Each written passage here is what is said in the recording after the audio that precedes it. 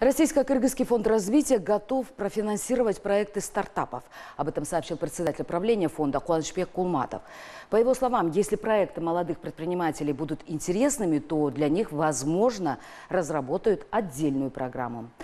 Однако это не будет носить массовый характер. Также сейчас в фонде обсуждается создание колл-центра, куда можно сообщить о нарушениях. О других новшествах и в целом о годовой работе фонда расскажет Нургуль Саматова.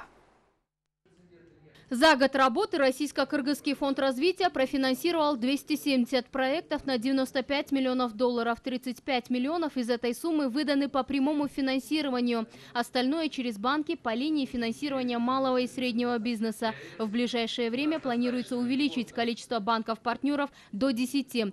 Если всего в стране 25 банков, то под критерии фонда подходят 14-15 из них. Самое главное требование – чтобы у них было не менее трех лет безубыточной деятельности.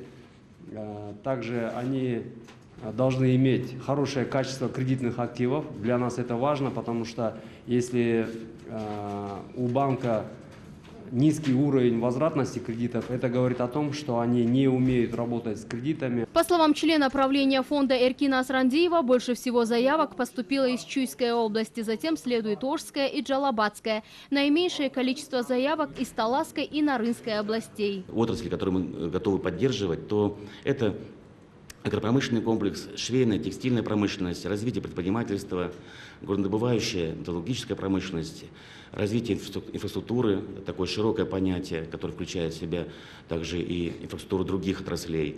Это обрабатывающая промышленность, транспорт. То есть, как вы видите, это довольно-таки широкий спектр возможности предложения э, наших, нашего капитала.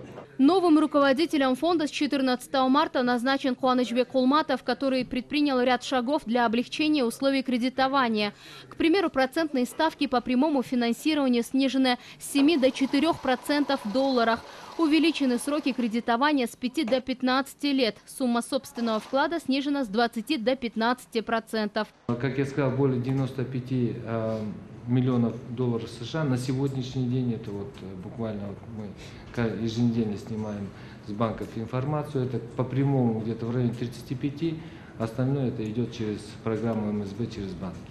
В фонде двухуровневая система управления. Высший орган – Совет, куда входят два представителя от Кыргызстана и три от России. А в правлении фонда три члена от Кыргызстана и два от России. Все решения принимаются коллегиально, путем консенсуса. Как не раз отмечалось, фонд выдает кредиты только для расширения и модернизацию предприятий, на приобретение и обновление оборудования и основных средств. Предоставляем финансирование на принципах срочности, обеспеченности, обеспеченности, э, платности и возвратности. Что это э, означает? Что через какой-то определенный срок денежные средства должны вновь вернуться в фонд. Денежные средства мы предоставляем, финансирование мы предоставляем не бесплатно.